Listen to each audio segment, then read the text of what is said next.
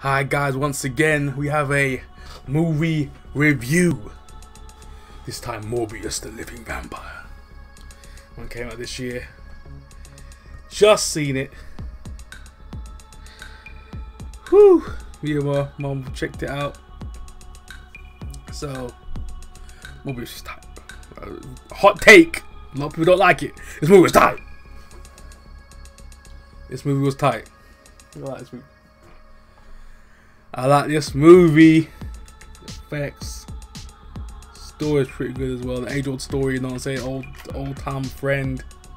Turn enemy, that kind of thing, you know. Turning on your brother, you know what I'm saying? That kind of thing. Um, but yeah, man, I, I enjoyed it. I enjoyed Morbius. I enjoyed it very much so.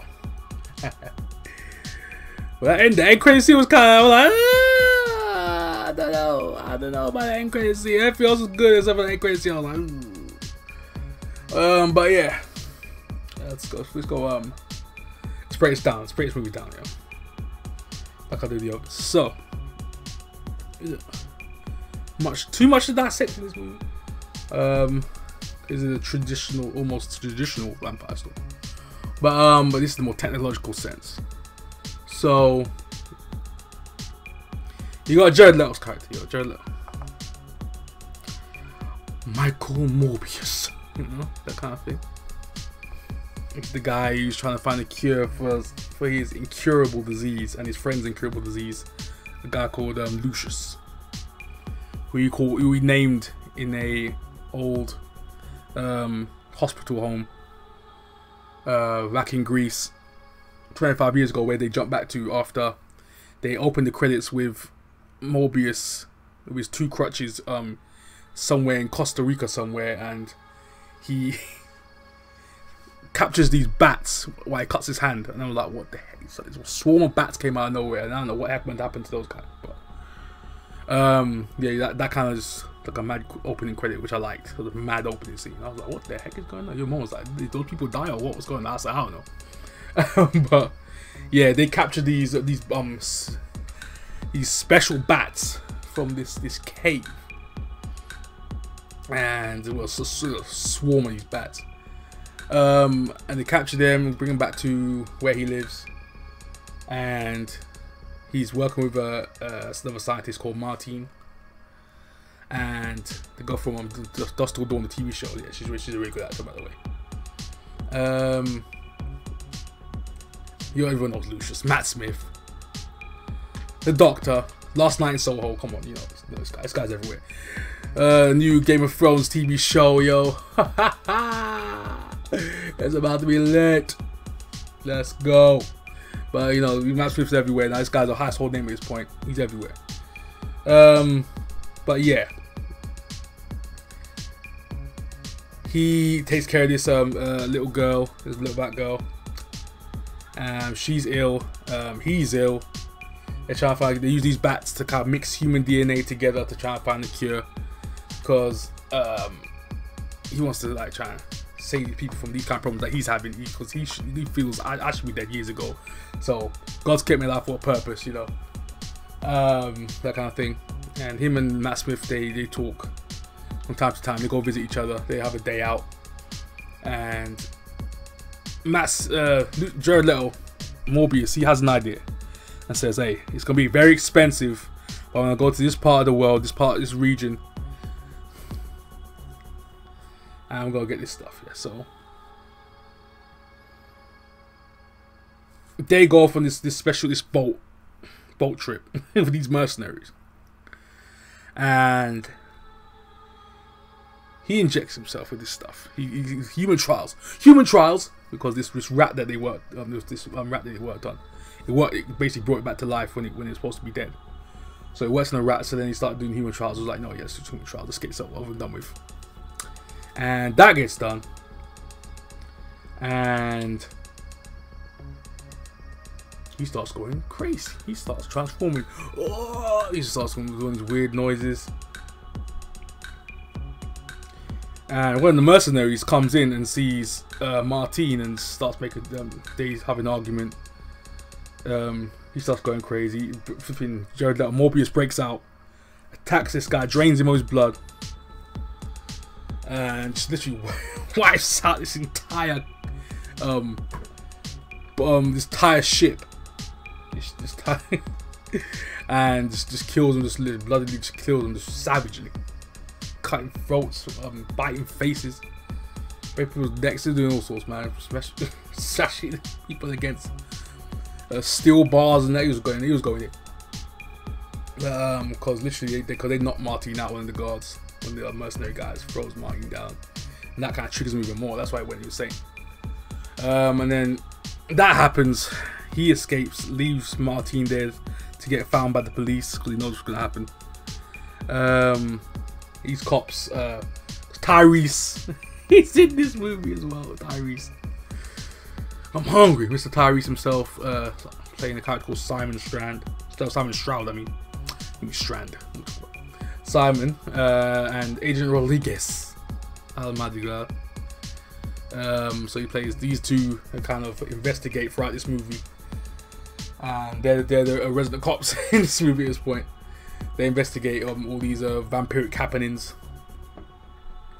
Notice all these holes holes in people's necks, people getting drained and sanguinated, as uh, Adrian Rodriguez says. And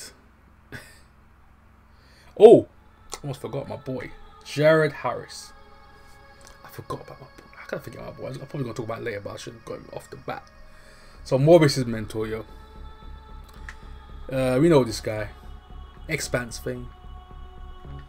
Uh, he's everywhere, man. This guy's everywhere. This guy's a, a legend out here in the UK. And uh, yeah, and around the world. So yeah, so he's literally he grew grew up um, Morbius and Lucius at this um place where the incurables live. And yeah, so he's grown up to this age. So um yeah, let's get back to the uh, plot where I stopped at. So that these cops investigating these these happenings, they question Martine. Martine's like, I don't know where the heck this guy is, I don't know what you're talking about, you know what I'm saying? That kind of thing. So she starts to do her own experiments still. And Morbius, he's figuring out his powers, uh, knows that this uh, synthetic blood that he has only works for a certain amount of time and he needs the real stuff at some point and artificial stuff is not going to work at some point so he knows he's gonna turn to a savage at some point. Um, meets it with Lucius. Lucius sees Morbius at his worst. He sees him like in a weakened state, saying that he needs blood. Lucius gives him blood, and then Lucius kind of gets uh, banished by Morbius. He's like, yeah, you know what I'm saying? That kind of thing, because he doesn't know what he's gonna do because there was a nurse that worked with him for years and she's dead. And Morbius thinks he did it because he doesn't know he doesn't remember himself doing it. He's kind of thinking, did I blackout in a, um, hunger rage. They're doing for like a vampiric rage? What happened? I don't know what the heck. Did he take over? Was that not in control? That happened. Um, but as the movie progresses, Lucius has taken the serum, yo. He's taken he's taken the vampire serum. This guy's got powers now. Lucius, because Lucius literally uh, goes into jail because Morbius gets arrested at some point. He gives himself up. Um, and a funny bit when in the cell when they were um, interrogating him, Adrian Rodriguez like literally brought holy water. That was funny. Tyrese was like, seriously, that was that was a good one. I like that little that little nod there. I like that nod to the vampire lore, you know. Um, but yeah, um, Lucius has got powers now. He gives him bag of blood to say, hey, let's go, let's let's go tear up this city, you know what I'm saying? Because Lucius out here just, just biting people on sight, you know what I'm saying? He's just out here killing people on sight. He's like, hey, no one gonna see up, hey, no one gonna see me, they don't see me out here, homie. You know, Lucius out here swole at this point. So he tries to get Morbius on side. Let's let's run run rampant. Let's tear apart this city no one could stop us, that kind of thing. So, yeah, Morbius is like, now, I didn't want you to be like me, a monster. Lucius hasn't fully embraced the vampire role. He, he doesn't want to go back to what he used to be. So Morbius is trying to find a way to stop him. You know that kind. Of, know where that goes. Yeah, in the in the movie realm, he has to stop his best friend from um, destroying the city, potentially taking over the world. that kind of thing. The way he was going, he wanted to take out everybody. Everybody's gonna can get this work. You saying? Lucius wasn't gonna stop there, bro. I know for a fact you weren't gonna stop stop there in that scene. Everyone's gonna get this work at some point. You're gonna take over everywhere. So, and this guy was improving, like evolving, state like power by power. This guy was improving everything he was doing. It was getting better and better at what at being a vampire. Um, he was showing out. But Morbius is always like one step ahead of him, power wise, evolution wise. Because um, he was the original one who had the, the power, and he's obviously found a way to harness his abilities a little bit better than Lucius at this point. But um, yeah, and Lucius um does not like Martine getting in the way of him and Morbius being a partnership. You know what I'm saying? Like being a, a brotherhood taking on the world. You know, because Martin is his love interest, Morbius is love interest, and he don't. He's like, nah, man. Why is she there? What? You know what I'm saying? Because they have a thing at some point. They they have a kissing scene at one point, and Lucius is there watching them like this guy. You son of a bitch. You know what I'm saying? It's like almost like he betrayed him. He feels like like a betrayal at this point. Um. Lucius even goes to a bar. He's like, you know, yeah he just even tries his hand out that. He's like, okay, for sure. He's got, she got Martine. Let me go and try and get a girl for myself. He goes to this bar. He talks to this woman. It was going well. These two guys get in the way and they push him on the table. He's like, okay, for sure. I'm gonna wait for these guys outside. Wrecked him. We went back to see that girl again. So he's done with his lovey-dovey stuff. He don't care about no one but Morbius. So he wants to be, just be a king at this point. No one can tell him what to do. He just wants to be a lost boy. So got a reference, salute to you. um, but yeah, um, oh my gosh, yeah, Lucius gets visited by um his uh, mentor, his uh, his teacher, his uh, carer, as it were, Jared Harris character, and he claps up Jared Harrison for a little bit. He's like, because oh, he always thought Morbius was your favorite. I was just a burden. You never liked me. You know, that kind of thing. You never saw me as Morbius's equal or even, you know I'm saying, as even as a brother. You never, you never saw me as nothing but a low down piece of trash. That's what uh, Lucius um, thought Jared thought of him. Uh, Jared's like, nah, I never, never thought me like that. No, no. but, uh, um, you got Jared's like, wait a second. If anything, you're my favorite. You took, I was different after you the whole time. I could just dumped you off somewhere. Uh, but but yeah, because of course of stuff that Morbius has achieved. You know what I'm saying? Being these, and set him off to go these science science stuff. You know what I'm saying? I was just a guy who had money. Because uh, he had he had money. This guy was rich. His family. He obviously he had a rich family, and rich he had a. And he was an, obviously he was an heir to something. It looked like he was an heir, heir. You know. This guy had inheritance money. Um, so because he was, because he always thought to himself, "Is like, okay, they don't see me as a, a flipping cash cow. They don't see me as anything. They don't see me as a human being. They only, they only see dollar signs when they see me. So I kind of get where he's coming from in that respect, but this man's been taking care of you for years, bro. Come on, man. You gotta have more respect than that. Dude. And Morbius out here coming around and showing love, man. Just like, you know what I'm saying? Come on, man. You grew up together, bro. Um, this guy virtually like this guy virtually damn near almost grew up at this point. So yeah, that's the kind of thing where he literally attacks, kills Jared Harris, kills him, kills him dead, slashes his neck, slashes his stomach dead. And they have this great fight scene that when he just comes out of prison as well Morbius in the, the train station, which I love as well. I'm like, yo, that's great fight scene. Like, da, da, da, ba, ba, ba, bounce off the walls and that as well. People sleeping on this movie. What's going on this movie type? But um, yeah, fight scenes. Um, but yeah, Lucius about to try and kill Morbius because Morbius is still weak at this point because it's in a prison the whole time. Um, not basically running on empty. And then he, he finds the flight path of the train. This floats to escape with um, escape Lucius because Lucius was having him up he was getting beat down. Um, but yeah, he Lucius goes to Martine, grabs her because he knows that will summon Morbius. So Morbius.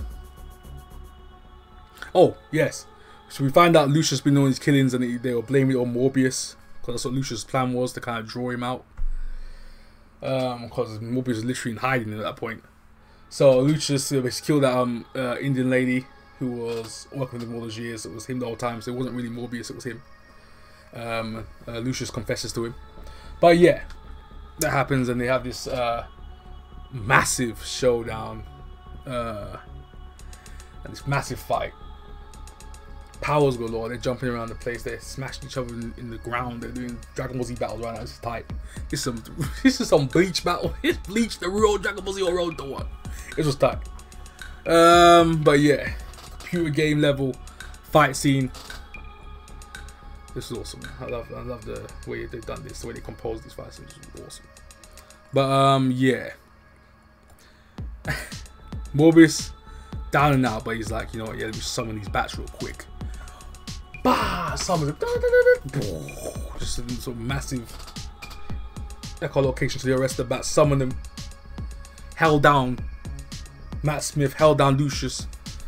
Hitting with the poison that he created with Martine. Stopped him. Uh, apparently killed him. I was like, ah, I killed him. I was like, ah, man, they just kill their villains, bro. These, superhero movies, why do people dying out here?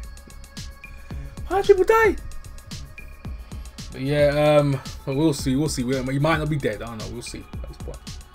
But uh, no, because I don't see how because I don't know if this movie's performed very well. I don't think it has. So I don't know if there's even gonna be a sequel. But the way they say I put this movie, um, oh yeah, oh yeah, yes, Martine is a vampire now, homie. This is it. In this movie, Martine become a vampire. She bit Morbius' lip, blood flew in her mouth, and he bit her. So yeah, that's it. We've got another vampire on deck. Martine, the vampire bride. You know what I'm saying? That's uh, Martine, yo. Martine Morbius running the streets out here. Um, then we see in this movie in the credits, we, we, we see Michael Keaton. You see the Vulture.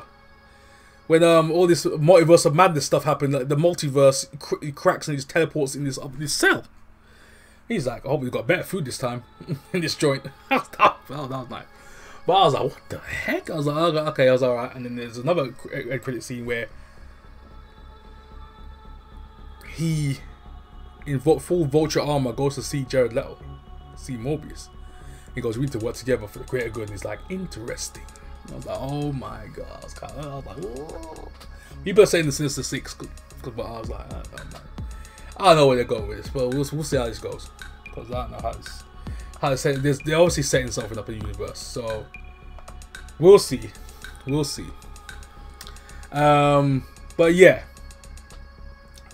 I like this movie. It's a really good movie. I like I like this movie. I, hey, I like this movie. Popcorn flick. Nothing too hard to understand. You know exactly what was going. How. This is awesome. It's a good movie. Good movie. Good movie. Um, people gonna be like, Troy, you're out your mind. Legend, you crazy. But um, nah, I like this movie. Tell me your think in the comment section down below. Tell me you guys think. I know you guys are gonna be on my head. This entire review gonna be on my head, like saying, "What is guy talking about me? What you mean?" Uh, but yeah, I liked it, man. I uh, liked it. The fam liked it. Hey, uh, come on, man. Come on, give me a break, man. I love it with the family. Come on, I liked it. But um, yeah, Twitter and Instagram, main two places you're gonna find me. If you're donate to the channel, Legendofold 101 on Cash App, mobile app only so far. Uh, yes, hit me up if you want to do me on those other two platforms as well. I'm also on Twitter most of the time, anyways. Instagram, really on it. Um, like, share, subscribe, all that good stuff. Press that notification bell, set it to all settings, I'm in your inbox all day, every day. Yes. And yeah, so wherever you are, there, night, stay safe out in these vampire streets. It's Legend Legendofold 101 signing out. Peace.